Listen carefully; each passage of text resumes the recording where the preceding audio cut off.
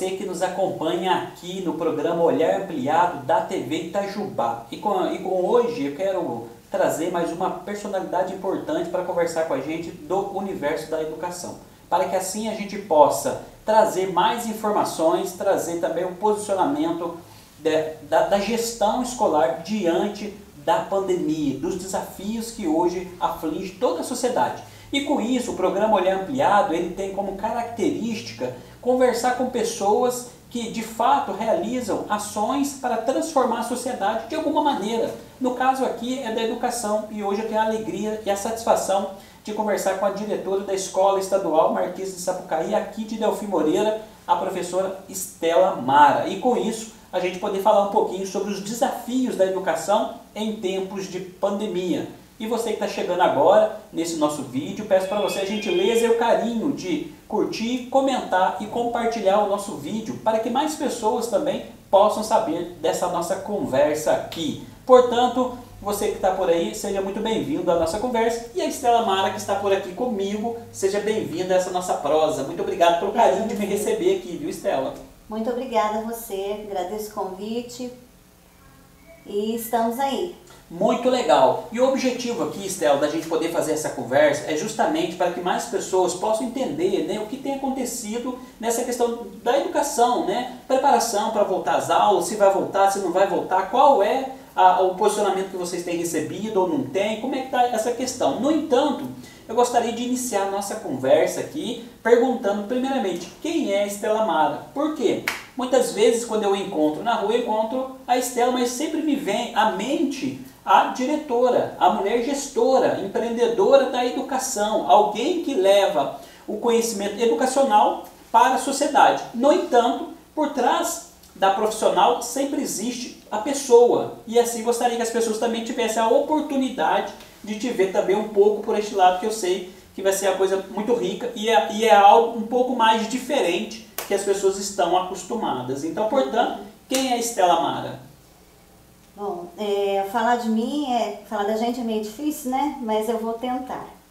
É, eu tenho assim um vínculo muito forte com várias cidades, porque o meu pai ele era trabalhava na administração fazendária e nós vivíamos de cidade em cidade, mudando, né?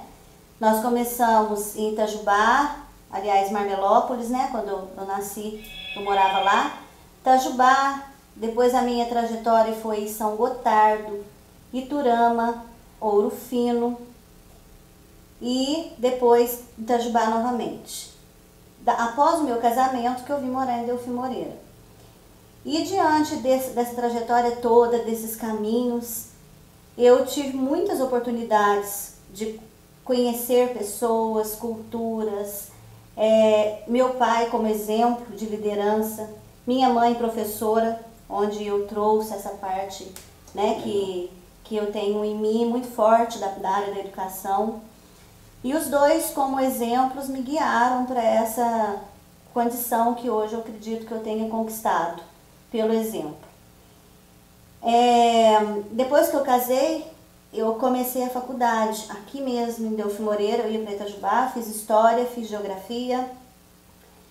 Depois eu comecei a trabalhar na Fundação Roger e lá eu tive a oportunidade de fazer pós-graduação em Gestão e Supervisão enquanto eu trabalhava lá. Eu fiz em Santa Rita do Sapucaí, na FAI. E nós, é, eu comecei a perceber na minha vida que portas começaram a se abrir. Depois que eu fiz a pós, com muito mais experiência, e entrei na, na supervisão da Fundação Roger, entrei na direção da Fundação Roger, fiquei lá por dois anos, e paralelo a isso eu era de vice-diretora aqui, hum, no qual eu tive que fazer uma opção, né, porque foi muito desgastante na época, e optei pela Marquês, porque aqui eu fiz o concurso para supervisor e passei, concurso estadual.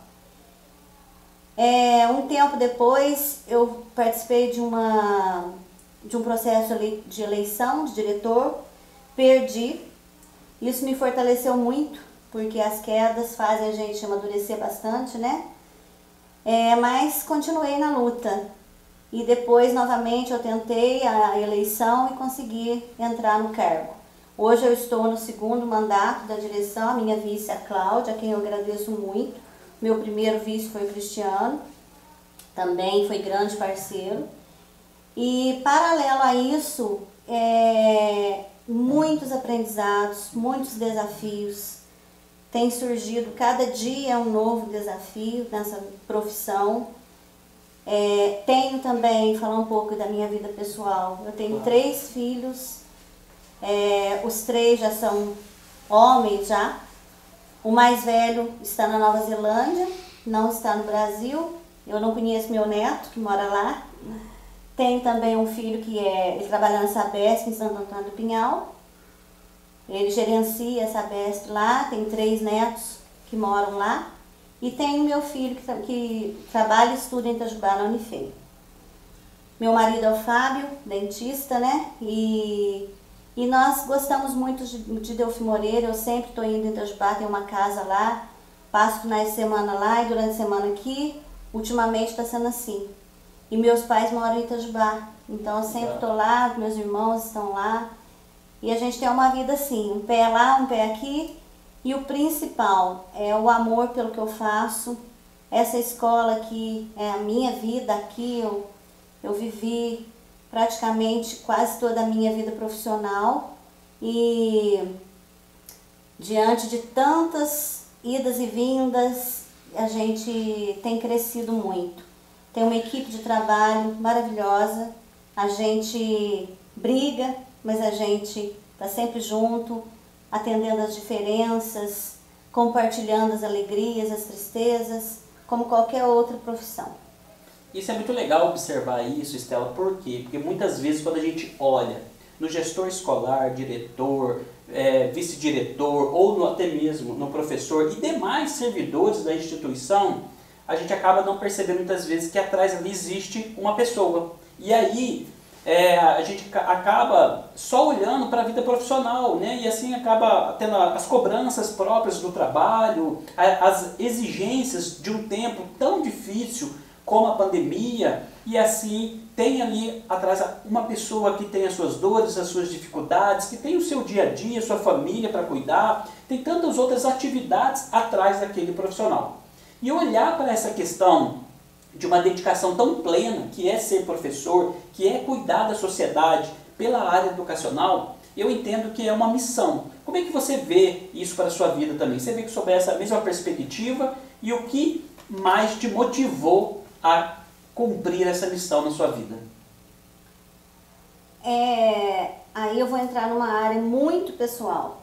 É, eu acredito que existe dentro da gente um lado que a gente precisa ouvir muito, que é a questão da intuição, né? Você gosta daquilo, não sei da onde desabrocha essa vocação, mas eu acredito que você precisa ouvir muito e sentir, perceber os sinais que a vida te dá para você seguir aquilo que você gosta. Esse é o segredo. Eu vou dar um exemplo. Quando eu fiz história, eu fiz história porque estava faltando profissional na cidade. Eu me perguntei na época, nossa, mas eu fazia história, eu nunca gostei de, história na escola. Mas tá, tava faltando, meu marido me incentivou, vamos lá. E trabalhei com história 10 anos praticamente. Eu, eu admirava muito o professor Sérgio Ricardo, porque ele tinha uma paixão pela história, eu não tinha. Eu queria ter, mas eu não conseguia, não estava dentro de mim. Não que eu não gostasse, porque os alunos gostavam das minhas aulas, mas eu queria algo mais o que estava dentro de mim e que eu sentia era a área pedagógica. Tanto é que eu tentei concurso para História, não, não passei. Fiz Geografia também, mas gostava até mais, mas não tinha aquela, aquela coisa. E quando começou a, a oportunidade para trabalhar na área de supervisão, na área de gestão, foi a época que eu mais vivi com intensidade e, e esse lado de encontrar aquilo que te faz realmente feliz. E é isso que, que eu percebi, eu demorei para encontrar. E a dica que eu dou é que você não pode escolher realmente aquilo que está faltando no mercado, porque o mercado está saturado mesmo. Mas aquilo que te move é o que faz você ser uma boa profissional. E é isso que eu busco a cada dia. missão de diretor é uma missão árdua, uma, missão muito dolorosa, porque o diretor é muito sozinho, porque são só cobranças, você precisa cobrar, você muitas vezes não é bem, bem visto, bem aceito, porque você também é cobrado. E essas situações às vezes deixam você um pouco, não sei se é triste, mas assim, é, angustiado, porque você não está, você é vista como diretor. E visto como diretor muitas vezes requer uma diferença que a própria posição impõe, né? Mas a gente tem tentado fazer o melhor. Eu acho que o diálogo é o segredo de tudo.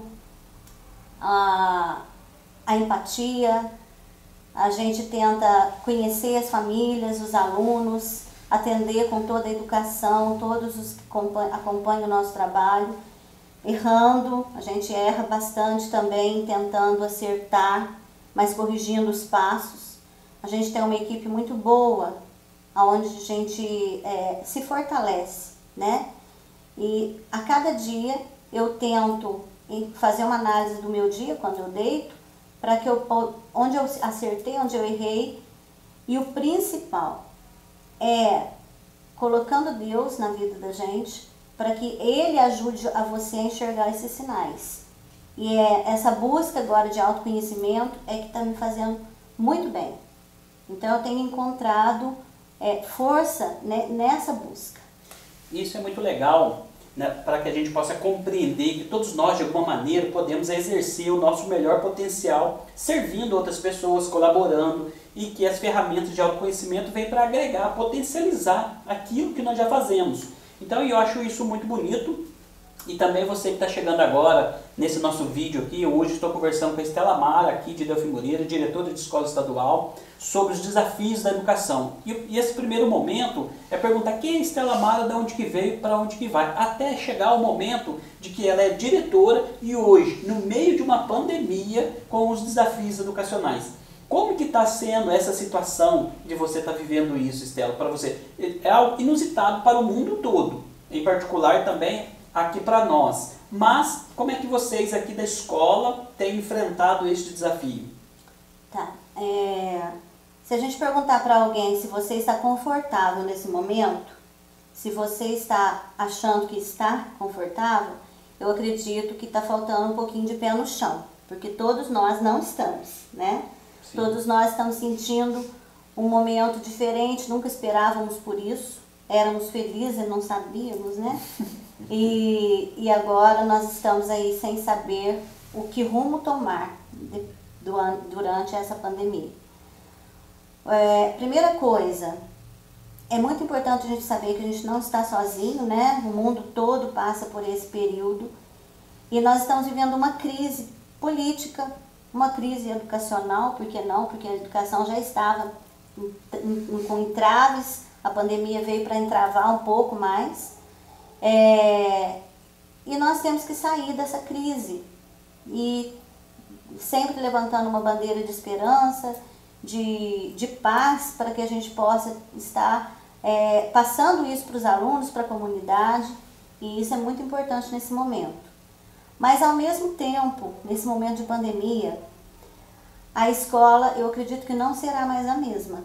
Ela vai, vai ser um, um novo momento no qual nós teremos que trabalhar a questão da segurança e da tecnologia através de um novo olhar para essa educação que está vindo, esse novo ensino médio que eles estão, estão pregando né, na educação mineira, a gente precisa encontrar é, os pilares que vão seguir nesse, nesse novo momento.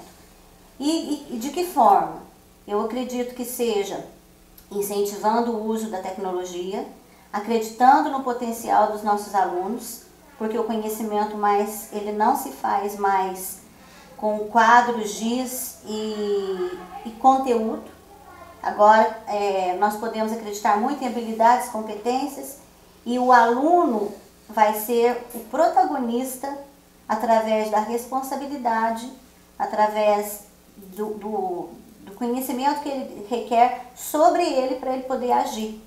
Ele não depende mais do professor, ele não depende mais da, da escola em si, porque ele vai fazer por ele. E colocar isso na, na consciência atual é muito complicado, principalmente adolescentes, porque nós lidamos com adolescentes, nós temos, a maioria, nós, nós atendemos de oitavo a ensino médio, e o adolescente ele precisa é, estabelecer esse tipo de relacionamento com ele. Se eu não fizer por mim, ninguém vai fazer. Porque lá na hora que ele estiver no estudo, em casa, trabalhando em frente ao computador, ou mesmo na apostila, no PET, né, que, que é o que, que a, gente, a gente tem no momento, ele precisa aprender a reconhecer as responsabilidades e atuar para o futuro, garantindo o futuro dele. Só que o adolescente, muitas vezes, ele não tem essa maturidade. E nós temos que ficar insistindo, ficar direcionando os trabalhos. E aí que está o segredo da família com a escola. Legal. Porque se a família não estiver conosco, se o pai e a mãe não estiverem insistindo e colocando ele na linha, fazendo um bom uso do, do celular para que ele possa estar tendo o horário de estudo dentro do, do convívio dele familiar, ele vai simplesmente é, ocupar o tempo dele só com rede social, com é, situações em que não vai levá-lo aos compromissos necessários. Então eu acredito que o nosso papel agora é criar essa disciplina familiar para que o aluno possa também ser cobrado. E isso é muito rico também entender esse papel todo que está falando, Estela, de que a família, de fato, também pode, deve colocar limites, né, para que esse adolescente ele possa ser balizado e assim ele supostamente para o melhor caminho, né? Porque a gente entende o esforço dos pais, o esforço da escola, mas também tem a questão da autorresponsabilidade desse próprio adolescente, deste indivíduo que deixou de ser criança, está na fase do adolescente e será o adulto de amanhã na sociedade, exercendo tantas outras funções a serviço da vida e do coletivo. Então, portanto, já cabe a ele uma primeira responsabilidade de lidar com seus estudos e se aprimorando, né? Mas aí, diante desse desafio que nós temos hoje com os adolescentes na, na escola, como que o professor tem se adaptado para viver este momento? E quais são as possibilidades daqui para frente de como ensinar, como lidar com toda essa questão que nós estamos vivendo? Tá. Esse momento ele está exigindo muito de nós. Direção, o quadro da secretaria, né, da escola, professores especialistas. Tem trabalhado muito, muito mesmo. A sociedade não consegue perceber, mas existe um, uma dedicação muito grande, porque o atendimento a, a, atendimento a aluno é constante. Então, se ele fazia quatro horas, ele está fazendo muito mais, porque ele fica o tempo todo disponível para atender o WhatsApp, para preparar a aula, para poder estar tá atendendo a escola. São, a parte burocrática envolve também muitas respostas que a gente tem que dar para a Secretaria da Educação, para a direção da escola. Então, isso tudo envolve o dia a dia do professor. Eu valorizo muito, reconheço que, que existe muito essa dedicação. Acredito que todos os nossos profissionais têm se dedicado bastante. É, mas eu acredito que se houver o retorno nas aulas, eles vão trabalhar mais. Por quê? Porque ele vai ter que atender o aluno presencial e online. Essa, essa, esse retorno, que será o ensino híbrido, ele vai conduzir o professor para dois momentos. Aqui na escola nós vamos estar preparados para atender um grupo, mas ele vai ter que dar atenção ao grupo que está em casa. E aí a situação vai, eu não sei como vai ser, a gente ainda não tem as respostas, mas tem que ter um equilíbrio muito grande para trabalhar neste momento de pandemia. Eu estou falando pelos professores, pelo que eu estou sentindo. Olha que, que interessante. Então, nós estamos, pessoal, num momento desafiador. momento de pandemia. E, e assim a educação precisa se ajustar para esses novos tempos e possivelmente pode vir aí a, o estudo híbrido, na né, educação híbrida, onde que é parte online e parte presencial, né? Que é mais um desafio para o professor também, que já muitas vezes tem uma sobrecarga porque pelo WhatsApp muitas vezes recebe é, mensagem fora do horário, muitas vezes pode ser acionado também fora do horário porque um, um, com internet através de um telefone celular a gente acaba ligando para o professor uhum. em tantos e, diversos horários, finais de semana e etc. E ele também tem, tem tido o desafio dele ter a própria internet, o próprio computador, né, para poder fazer é, dar as suas aulas, né? Então tem todo esse desafio também Portanto, todos nós estamos passando por um momento de pressão, onde muitas vezes pode gerar a insegurança, medo, ansiedade, tantos outros sentimentos que o profissional, professor, que é um ser humano, como todos nós, também tem passado. Então, portanto, o nosso respeito e o nosso carinho a todos os profissionais da educação que têm, com muita garra e seriedade, levado adiante é, é, essa missão de ensinar. Eu tenho visto, eu sou testemunha disso por causa do meu filho Vinícius, né? E tantos professores que têm ali colaborado têm percebido que realmente eles têm se debruçado para fazer o melhor. Muitas vezes as circunstâncias não permitem dar todo o potencial que ele tem, mas ele busca fazer o que é, o que lhe é próprio, né? Então, é com isso, pessoal, eu quero pedir para vocês também que estão nos acompanhando aqui, que está chegando agora nessa rede social, que você possa fazer a gentileza para a gente curtir, comentar e compartilhar esse vídeo para que mais pessoas possam é, aprender, olhar ou se achegar a este nosso olhar que a gente está conversando aqui sobre o desafio da educação em tempos de pandemia, conversando com a Estela Mara, que é diretora da escola estadual aqui em Delfim Moreira. E com isso, Estela, de, partindo para esse estudo híbrido, para esses desafios, né, para tudo isso que tem acontecido e que a gente não sabe para onde vai nos levar. A escola tem recebido orientações do que vai ser feito daqui para frente, a escola tem se preparado para um possível retorno das aulas quando forem retornar. Como é que vocês têm vivido esse momento? É, a gente tem, tem tentado se preparar, né?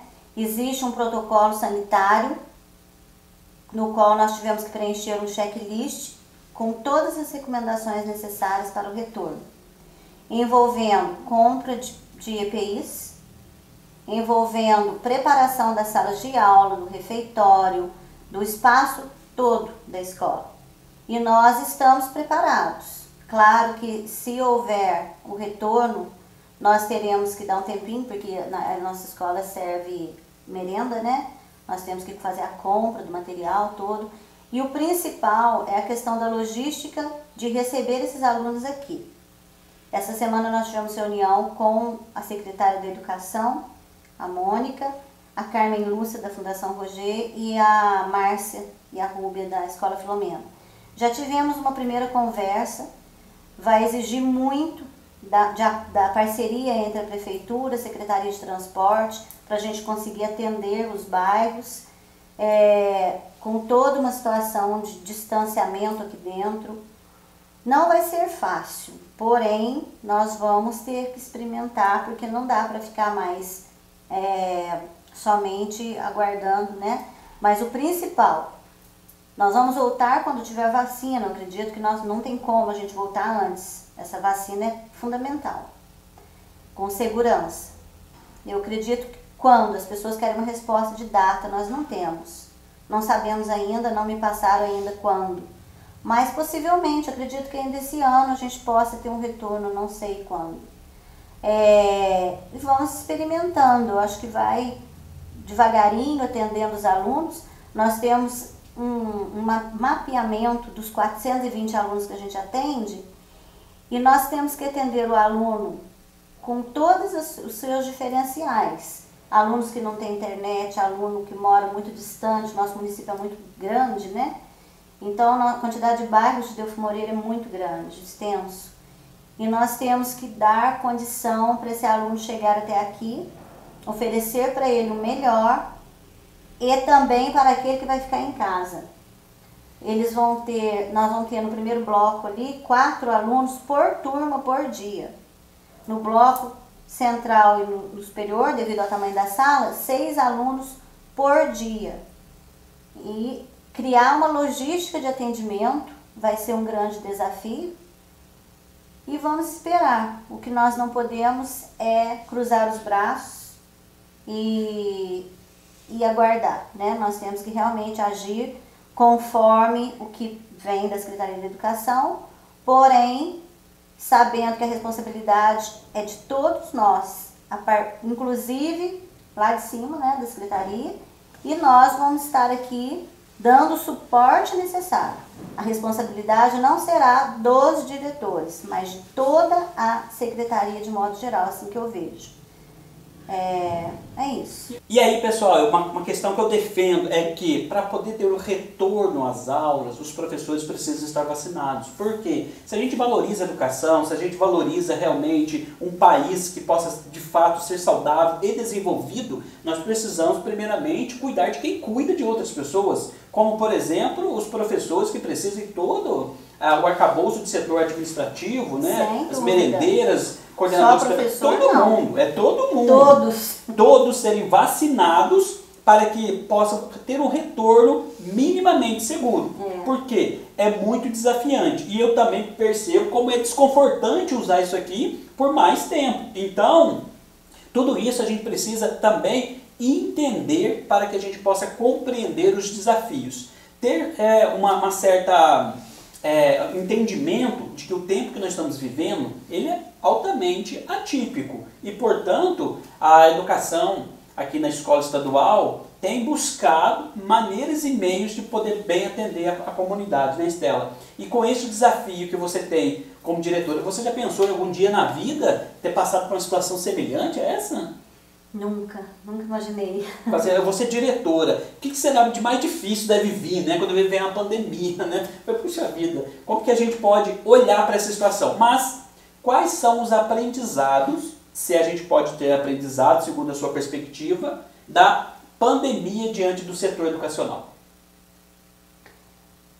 É, eu, eu vou falar primeiro pelo fato de ter vivenciado a Covid eu tive Covid no ano passado. Foi um momento de muito diferente, porque você não sabe como o seu corpo vai reagir. E você fica na expectativa.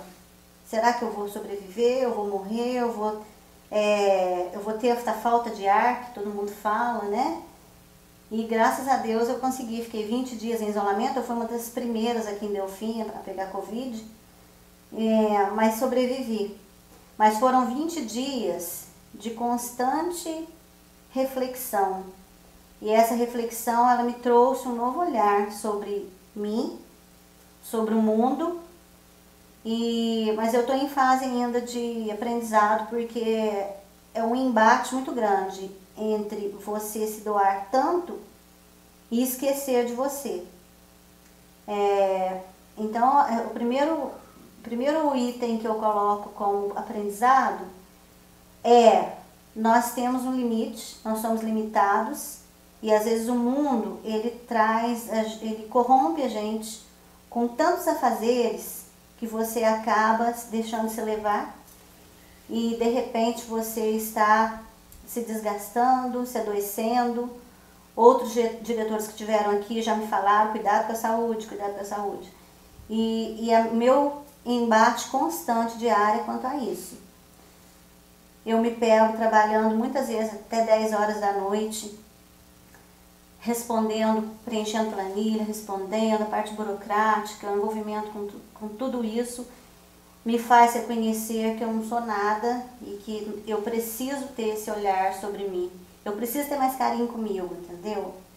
Esse carinho, só eu que vou é, conquistar, é, eu, eu preciso me valorizar mais.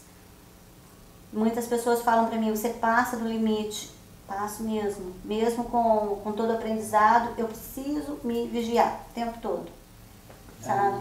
E também é, já tive problemas com pessoas, eu acho que isso não vale a pena, a gente tem que perdoar sempre é, estar sempre disposta a, amar o outro do jeito que ele é, não do jeito que a gente queria que ele fosse. E, e é por aí, não adianta a gente querer mudar o mundo, a gente tem que mudar nossas posturas para criar um ambiente com qualidade, tanto na parte familiar quanto na parte profissional. Isso é muito legal, pessoal, a gente poder ouvir, experimentar, acessar uma pessoa que teve a questão do Covid-19 e testemunhar essa força e este aprendizado. E portanto, assim, que a gente possa, mesmo nós, eu no meu caso, que não peguei o Covid, aprender com tudo isso, antes mesmo de fazer essa experiência terrível, porque muitas pessoas têm se acometido e falecido por esta terrível pandemia. E portanto, olhar sobre uma nova perspectiva a nossa própria vida é mais uma oportunidade que o Criador nos permite para que a gente possa realizar algo aqui, uma missão talvez, o que mais que a gente poderia contribuir aqui no coletivo, a serviço desta vida. Portanto, eu quero também saudar aqui todas aquelas pessoas que de alguma maneira é, passaram por esse momento difícil e que de algum jeito podem né, se sentir um pouco mal por ter contraído o Covid, ser um sentimento de culpa, ou medo, a insegurança, a ansiedade. Quais são os sentimentos que batem dentro da gente quando a gente está cometido por uma doença. E às vezes pode ocorrer de algum preconceito, de alguma questão de uma pessoa não querer relacionar com outro porque contraiu algum tipo de doença, no caso a Covid-19. Mas, portanto, eu conclamo a todos os cidadãos e pessoas que querem olhar a vida sob uma nova perspectiva, com um olhar ampliado, uma expansão de consciência, que a gente possa de fato acolher cada vez mais todos neste desafio constante. Porque, por mais que a gente imagine que a gente não está ligado um ao outro, nós estamos constantemente interligados um com o outro, nesta vida, nesta sociedade. E nada que acontece simplesmente só comigo não afeta o outro, e aquilo que afeta o meio também me afeta. E sendo assim, Estela, gostaria de te pedir que você pudesse, encaminhando para os finalmente da nossa conversa aqui, mandar uma mensagem para os pais. E depois, em seguida, já mandar também por gentileza, uma mensagem para os professores, né, diante deste momento tão difícil que é a pandemia. Uhum. É, primeiro eu queria é, avisar, a, colocar aqui que é importante a gente enxergar que o outro está conosco hoje e de repente não está mais. Nós tivemos a semana retrasada, uns 15 dias, a perda de uma funcionária nossa que de repente estava aqui e agora não está mais. Isso é muito doloroso. É, e eu fico me perguntando, né? Nós temos que nos proteger para não, não acontecer com mais ninguém. E isso serve para a gente pensar sobre a vida, né? O que, que eu estou fazendo neste mundo? Qual é a minha missão? O que eu preciso levar para as pessoas? Preciso ficar presa a, a picuinhas, a coisas tão pequenas que não leva a nada. E é isso que eu tenho me fortalecido nesse aspecto. É, quanto aos pais, eu gostaria de falar para vocês que os filhos de vocês, eu vou falar pela Marquês que temos adolescentes. O oitavo ano já é aluno crescidinho já. Eles não são crianças e eles podem tomar atitudes para resolver os problemas deles. Então a superproteção eu percebo às vezes e isso tem não está sendo bom para muitos alunos. Por exemplo, se você precisa é, entrar em contato com a escola para tomar uma atitude ou perguntar alguma coisa, peça para ele. Não precisa o pai ou a mãe estar respondendo por ele. O próprio aluno pode vir até nós. E muitas vezes eu percebo os pais fazendo pelos filhos. Não, deixa ele quebrar a cabeça, deixa ele fazer, deixa ele errar, faz parte do, do aprendizado para ele se tornar uma pessoa melhor. Não, a escola não está presente fisicamente, mas eu acredito que essa pandemia é uma oportunidade muito grande para que ele possa ser uma pessoa melhor. E isso ele vai se tornando com as responsabilidades que a distância a gente consegue passar para ele. E o seu papel no momento é estimular esse essa autonomia do seu filho, para que ele possa fazer sozinho e não depender de você. Estamos aí sempre, eu estou sempre disponível para os pais, a gente tem um grupo de pais muito bom no WhatsApp, nós temos quase 200 pais precisamos de mais, né? A gente convida todos que puderem estar acompanhando conosco. Os recados quase que diariamente são colocados lá. Muita informação, temos nosso Facebook, onde a gente coloca as informações. Temos 15 grupos oficial por turma, onde a gente coloca todos os recados. E também videoconferência, fizemos reunião com pais a semana retrasada. Foi um número bom, mas precisamos melhorar. E, e eu convido a todos para que participem mais das reuniões de pais. Falem com a gente, mas não falem da gente. Se você tiver que falar alguma coisa, alguma crítica, venha fazer falar conosco, tá? É muito bem-vinda a opinião dos pais. E aos professores, estamos juntos, apesar de todos os, os problemas, eles sabem disso. Eles sabem o quanto eu valorizo, o quanto eu é, sou companheira, amiga dos professores, da supervisão. A minha vice que vai sair agora, vai ganhar neném, nós estamos no processo de vice-direção agora que vai acontecer. Vai substituir, nós vamos encontrar o colegiado, vai indicar uma vice por seis meses. E a toda a secretaria, o secretário Dorico, que é um grande parceiro, a gente tem assim todo um grupo que faz a diferença. A superintendência também, a gente tem um bom relacionamento. O Wagner né, sempre está aí é, direcionando o trabalho, com toda a sua equipe. A gente só tem a agradecer. Muito legal. E é esta Estela Mara, diretora da escola aqui, Marquês de Sapucaí, Delfim Moreira, se colocando à disposição da comunidade escolar, à disposição dos pais, dos professores. E eu tenho certeza, Estela, que a escola está bem servida com você aqui. Eu fico muito honrado, feliz de estar eu aqui.